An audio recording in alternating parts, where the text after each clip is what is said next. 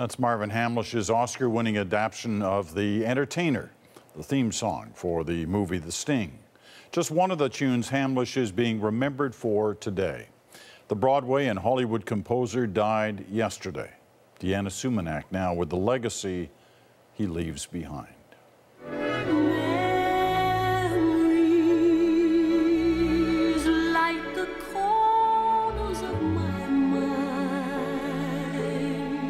Marvin Hamlisch wrote a song, it was, like the composer himself, hard to forget.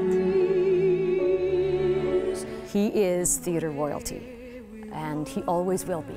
He knew everybody. Everybody knew him. He had a huge heart.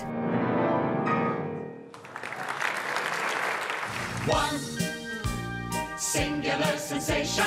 And a gift for melody that helped Hamlisch move from stage musicals to movie screens with ease few composers could match. Writing a soundtrack for Barbra Streisand and Robert Redford's unlikely love story in The Way We Were put him on the map in Hollywood. It won him his first two Oscars for original music in 1974.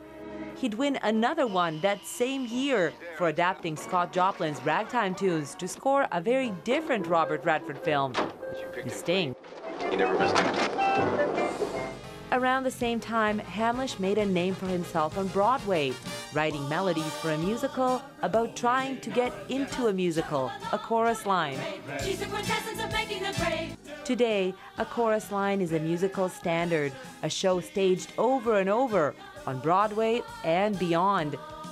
But at the time Hamlisch wrote those tunes, what he was doing was revolutionary.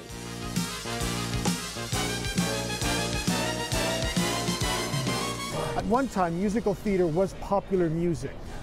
Number one hits were no longer the musical theater shows. They, they had become rock and roll hits. Those were the number one songs on the radios.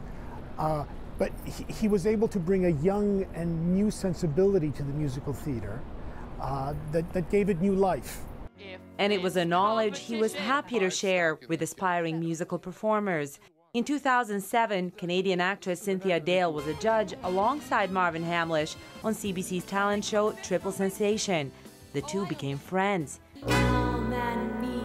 Today, Dale is starring as Dorothy Brock in Stratford Shakespeare Festival's 42nd Street. He was very giving to young performers in that whole experience. He was also very tough on performers, on what he expected. He believed in people working really hard. And uh, he was not only business savvy about this world, he, he loved it. Loved it so much, he was working on scores for upcoming films until his very last day. Marvin Hamlisch is one of fewer than a dozen artists who have won every major honor in the entertainment world Academy Awards, Golden Globes, Grammys, Emmys, and a Tony. He was 68. Deana Sumanac, CBC News, Toronto.